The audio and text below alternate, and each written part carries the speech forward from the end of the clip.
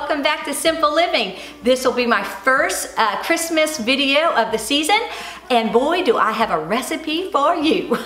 You're gonna love it. They're called thumbprint cookies. They could not be any easier. I just, you don't even need a mixer, a stand mixer, nothing. You just need a bowl and a wooden spoon or whatever you have and you can make these cookies. Now don't you worry, if I, I'm vegan and I make everything vegan in this house, but if you are not vegan, all you have to do is switch out the butter and you have a traditional thumbprint cookie. I love the versatility of these cookies. You can put any jams or jellies in your thumbprint, make them their, your own, whatever your family's favorite jams or jelly is, then I would use that. Maybe you could use the a mint jelly for the green and then a raspberry for the red or cherry or strawberry. Anyway, if this is something that you think you might be interested in making, uh, please stay tuned because we're fixing to get cooking in the kitchen and I am so excited to share this fantastic spot on Christmas cookie with you. All right, thank you for stopping by. Two sticks of butter, not two and a half. two sticks of butter and you're gonna just kind of whirl it around in your bowl. Then you're going to add a half a cup of regular ground sugar and then a fourth of a cup of brown sugar. And you're gonna stir that really good. These are gonna make a great holiday cookie.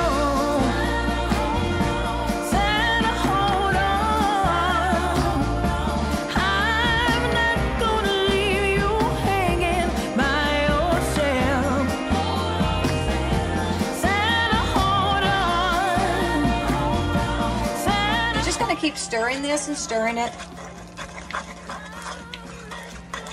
until you get it pretty creamy. Then you're gonna add one egg. Well, I use an egg substitute. And it's just one tablespoon of the powder to two tablespoons of water. Add that in. You're gonna add also to your two sticks of butter and sugar and brown sugar, you're gonna add one and a half teaspoons of some good vanilla.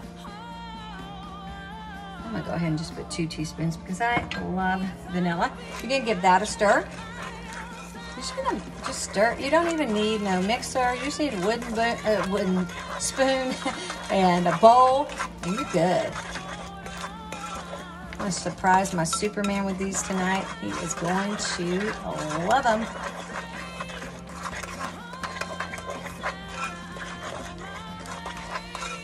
And then to this mixture, You've got two and a half cups of flour, one fourth teaspoon of salt, and one fourth teaspoon of baking soda.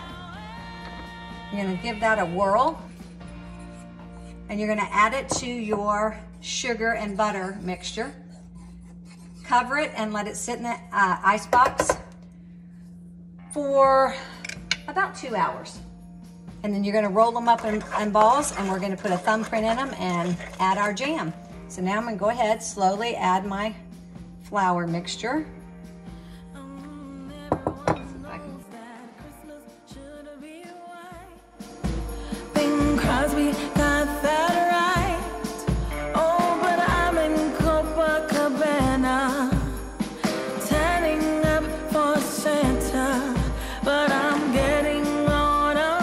Incorporated, put in an ice box, cover it, and we'll be back in two hours and we will start making our cookies.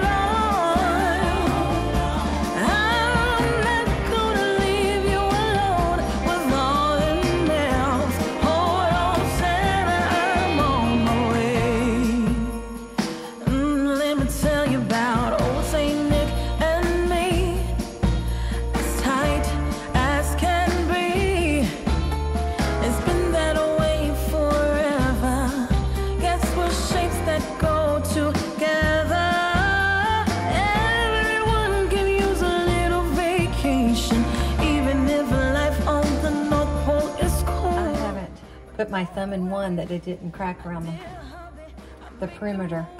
I don't know. So I'm having to mend the perimeter as I go of the cookie.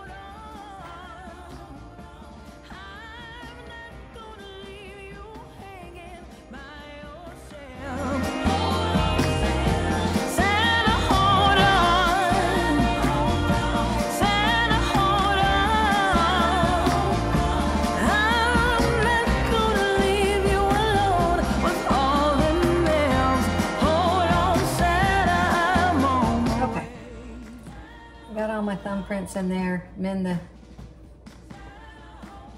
cracks. Time to put the jam in it. I'm gonna do cherry here, half a teaspoon. Whoops. Oh my gosh. I'm a mess. Half a teaspoon in each little slice. I'm gonna do fig.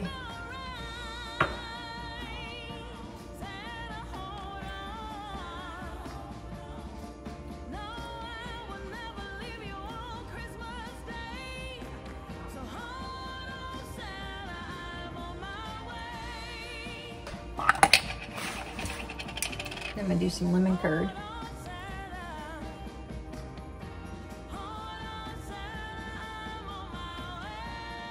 Then you're gonna sprinkle, after you get done baking them, you're gonna sprinkle them with powdered sugar.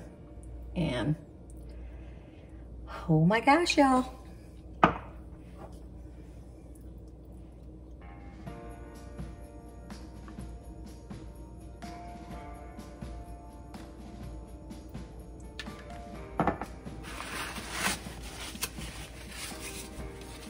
Clean up my mess. Okay, into the freezer they go for 15 minutes, and then we'll bake them. Fresh out of the freezer. 12 to 15 minutes.